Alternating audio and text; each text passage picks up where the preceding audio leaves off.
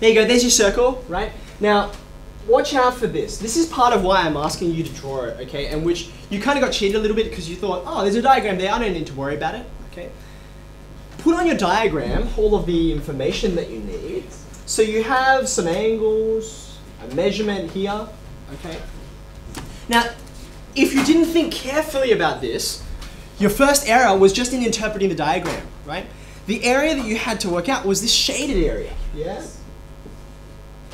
Like so, okay? A lot of people worked out the rest of the area that wasn't shaded because we didn't interpret it correctly, right? And actually drawing it, going through the process of drawing it, helps you work out, okay, which bits are important to me, right? Okay, so the first thing you can do is, we can work out the area of a circle, right?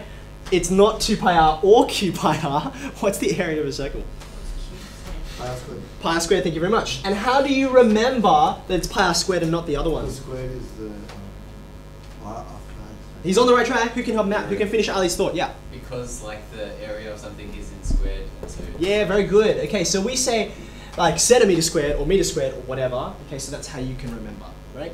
So you can work that out, and that's where the first mile went, two marks, right? So you had to input into here that the radius of this circle is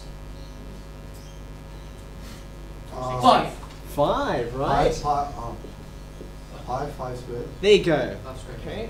So you can know it's five because you've got this measurement here, and the radius is from the circumference to the center, and the center is always O. Okay. So so far so good. You can then get your calculator out, and I think you get seventy-eight point five four something. Okay, something like that. Actually, I might just um, if you got your calculator there, you can double check and verify this answer. But that was the first mark. Okay. So a lot of people only knew how to work out the area of the circle, and that was okay. That gave you one mark out of two. Okay, yeah, five four. Two decimal places. Okay, so there's your first step.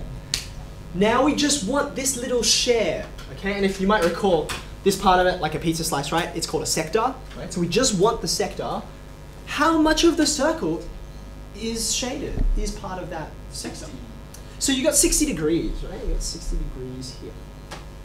You need to remember what's what's the whole circle? What's all the way around? And it's 360 degrees, right?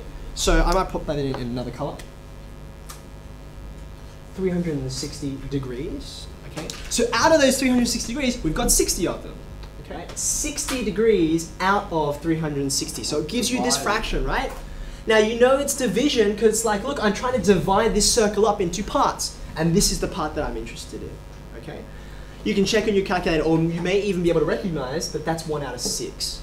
Okay. So you want a sixth of the circle, a sixth of this area. Okay. So the way I would have written it is to say, therefore, the shaded area is equal to, and here's where the second mark came in, a sixth times this whole area that we worked out before, which is 13.09 centimeters squared because you went to two decimal places. Oh. Okay.